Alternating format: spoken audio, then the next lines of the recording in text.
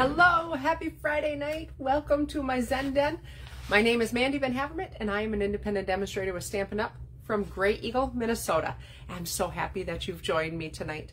I wanted to show you um, a few ideas and I'm going to make this quick because I've got kind of a stuffy nose and it's not running right now. Um, anyhow, I want to show you a couple of ideas using the Trusty Tools um, set. And I want to show you now specifically because right now during celebration, so through the end of February 2024, you can earn a pack of paper for free if you order the bundle uh, of trusty tools and stamps and dies. I'm going to explain it to you after I flip the camera around because I want to show you this stuff. It is like the coolest set. It's a super cool masculine set. So let's flip the camera around and I am going to, sorry, I'm out of practice. Did you notice I've got my, um, I've got my, my camera back. I found a workaround and now I've got my, there we go. Find the right thing there. I found a workaround to get my, my camera back to this direction. Happy Friday, Joyce. Thanks for tuning in, Vicki. I'm so happy that you're here. I got my camera back to be in landscape direction. Yay, doesn't that makes me happy. I don't know if it makes you guys as happy as it makes me, but it makes me really happy. Okay, so the trusty toolbox, or I'm sorry, trusty tools bundle is on page 56 of the annual catalog, or of the small mini catalog. It is so neat. And if you buy the stamp set and the die bundle, you get um, 10% off. You save 10%, so it's $54.75. And then if you pull in celebration, so if you order this before the end of February, you can choose the Trusty Tools, uh, Trusty Toolbox Designer Series paper. And this paper is so cool, you guys, because a lot of the images on it, let me just pull out a few pieces here. A lot of the images will cut out with the dies. So like this die here, or that um, hammer, will actually, if you want to, you can, excuse me, cut it out with that die. And um, I believe the, the, the hammer, the measuring tape, the uh, wrench will cut out, and there's one more, the, it's not on this page. There's two different papers, and they've, they've got just neat, they've got really neat backgrounds that are really um, just simple, but we've got like screwdrivers and hammers. And I just realized what this was. This is actually like um, the toolboxes, the really cool toolboxes. I've seen some really neat um, cards made where this is like cut and designed to be a toolbox. I'm so excited to make one for my husband. The background, this one's got some nuts and bolts and screws. Just really, really fun paper. So if you other, if you're look, here's the other one that's got um, the paintbrush you can cut out and the, um, oh my word. Anyhow, you can cut out all the tools. It's just the coolest paper in the world. So this is only available through the end of February. And the best part about it is it's available for free. So if you are interested in this bundle, I would get it sooner rather than later. Um, the dies are really, really fun. They're buildable. The stamp set is really neat. It does have, um, it's geared towards Father's Day, but you can choose, uh, tonight I'm putting, I'm making a birthday card. Um, it, it, it, I mean, you don't have to use just these sentiments with these images. So just keep that in mind. Thank you. And then dad in big letters, happy Father's Day, and you're the most awesome. So let's get making a card. This is the card. I got it from my friend Brenda Cardinal. And this is the card I'm actually um, going to be, I've cased it and I'm going to show you. I changed it up a little bit because I really liked how she incorporated the uh, designer series paper, but I changed it up just a little bit. And this is how I changed it up. I'm so excited to share with you how I made this background. Um, I used the new brayer. They brought the brayer back and I've never used a brayer before before literally before tonight and I'm so excited because that is the coolest technique ever. And I changed the DSP just a little bit. We're going to change this and make it a birthday card though. So let's get cracking. Here is what we're going to need. Let's make sure you can see that. Yep. Um, here's what you're going to need for the card. You need a piece of real red eight and a half by five and a half scored down the middle at four and a quarter. And then you're going to need a piece of basic gray, and this is four by five and a quarter. A piece of pecan pie, which is three and three quarters by five. Two strips of designer series paper, and I don't give the measurements on these strips. This one here, I measured at about an inch, I believe. This one here is not an actual measurement because what I did is, um, well, let me show you the piece of paper that I cut it from. I wanted the actual lines of the toolboxes. So this is not quite two inches. So I just lined it up. Uh, when I cut it, I lined it right up in the track of my cutting tool. And so I just cut it that way. It's not a specific um, measurement or anything like that. So then I've also got a piece of basic white. That's for the inside of the card. And then for the sake of saving time, I already um, stamped and colored uh, the hammer.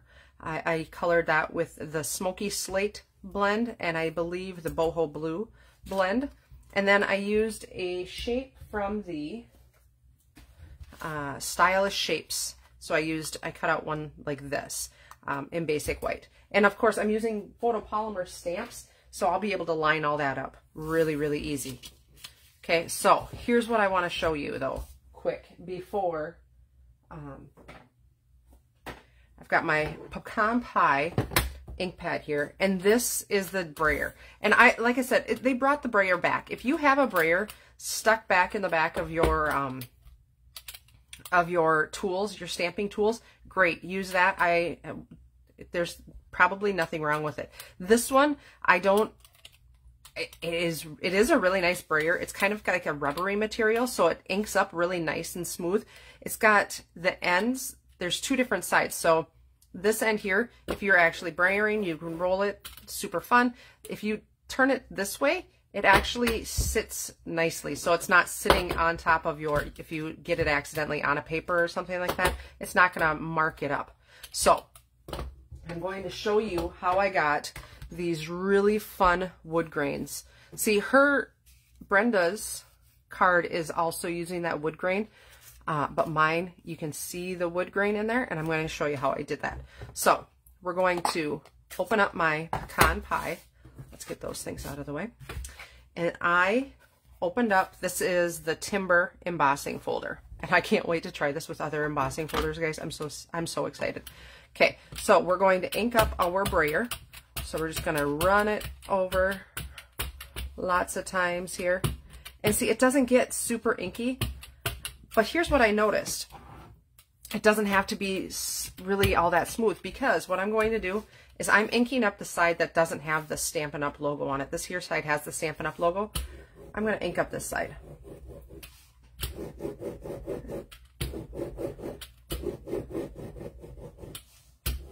And I've done this before with a sponge dauber, and I've actually taken the ink pad before and done this, and it works. It, it works just fine. There's the cool part, right? I can set that on there. It's not going to get ink anywhere. Um, but I've used sponge daubers and things like that to ink up and sponges. This makes it just enough so it's not making a huge mess. It is so fun. All right, so now I've lined up my paper on this side with that line that's inside the uh, embossing folder, and that just makes my wood grain run all the same direction. And so now I'm going to shut it gently and then bring in my cut and emboss uh, platform. And this is a 3D embossing folder, so I'm using plate number one and plate number four. So here's plate number one, put the embossing folder in, and plate number four on top. This is the correct way to run the sandwich. If you, I mean, technically, this is the same thickness, right? But if you run it this way, and your roller hits the top of this, it's going to curl your embossing folder. If you run it this way, it's going to, this is going to take the brunt of that, that roller, and that's not going to curl as bad. It's going to save your embossing folder. So let's run it through the cut and emboss machine. I'm so excited to show you guys this. This is just the coolest thing ever. Isn't that, it's so much fun. It's like just perfect. It's not a ton of ink all over. It's perfectly done. I cannot wait to play with that brayer a little bit more. So exciting. Okay. So the card comes together pretty simple. like I said, I'm making this a birthday card. So I've pulled in uh, a happy birthday sentiment, just says happy birthday. It's from the Submarine Life. So just this happy birthday right there. I'm really excited to play with this set too. I just got it. Super excited. Um, so let's build our card. I'm going to close my pecan pie, bring in a basic gray ink pad.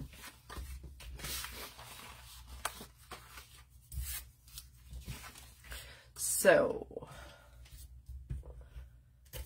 and I've got some more samples too with this set and you don't need the paper to do this. So if you're watching this video on YouTube after celebration and after the paper is gone, you don't need this paper to um, make really fun cards. These are, this is a great masculine set. Um, really just a really, really good masculine set. I've also come up with a feminine. I found a soft feminine card and I'm going to share with you too this evening. Um, just a really neat, unique set and I like it, but the paper is really cool. So either way, right? Okay, so let's layer this up. And when you run, uh, I'm using a generous amount of tape adhesive on here because when you run it through a cut and emboss machine and you emboss it a lot, it does warp that paper. You can see it's not flat anymore, right? And so I want to make sure that it sticks down really, really well. Like that. That is so striking. I absolutely love it. So, put some more adhesive on the back.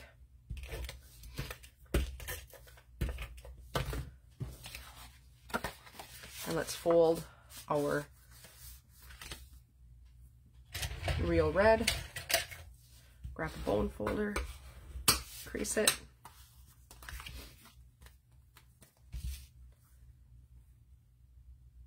That is such a striking card. It is so fun. All right. So I've got my little banner here that I've already um, cut out. I've got my happy birthday basic gray ink.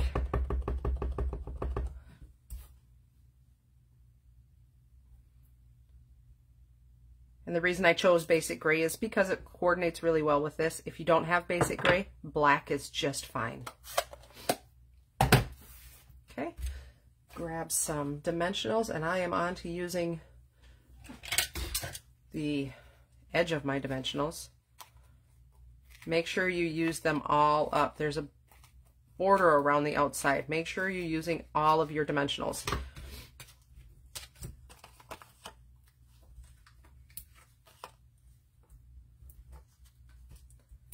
Okay, so we'll pop that up. I did make a mess on myself. Oh no. It just shows I'm working really hard. Perfect. Okay, and now I'm going to take my hammer and I'm going to put a dimensional right at the bottom of the hammer and I'm going to put a dimensional behind the hammerhead and I'm going to put a glue dot, there we go, on the hammer handle. Just to keep it down.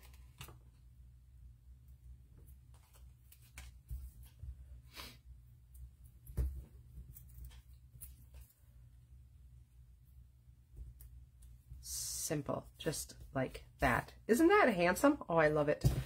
Okay, now I've got a piece of scratch paper because I'm going to, let's see here. I'm going to grab the sentiment, you're the most awesome too. Because if it's their birthday, they're the most awesome. And I've also got the wrench.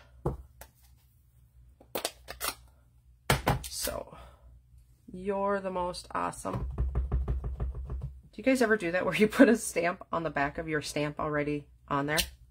I do it quite often. All right, and then I'm going to grab the wrench and I'm just going to stamp that right down in there. Again, I'm using basic gray. If you wanted to use black or a different color, you totally could. Let's grab, I've got, let's see here, shaded spruce and uh, smoky slate. So I'm just going to color in my my tools because we're dressing up the inside of the card.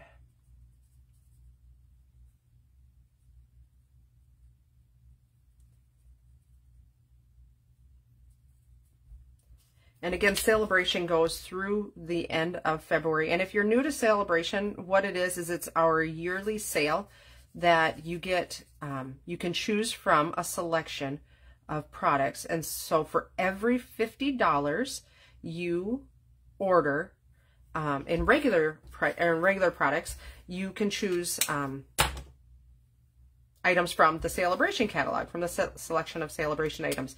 And they, a lot of times, are coordinating. In, so like this tool paper, the trusty toolbox paper, is one of the selections this year.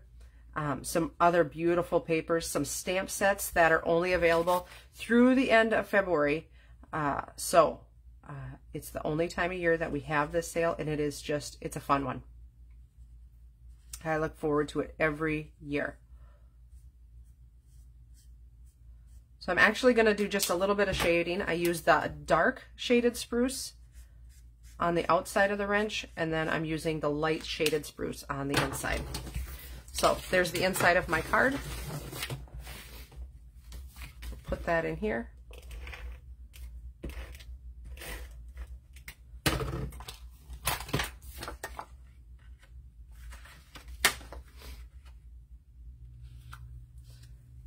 And there you go. There's the inside. So there is our card for tonight. And that's what we mean by casing. I mean, this is, it started out with, let's see, where did Brenda's card go? It started out with one version. I changed it to another and I changed it to another again. Here we go. So it started out with this version and then I changed it to a thank you card. The thank you is inside the set and it ended with this card here. So that's what I mean by casing. Make it your own. Make it whatever you want it to be.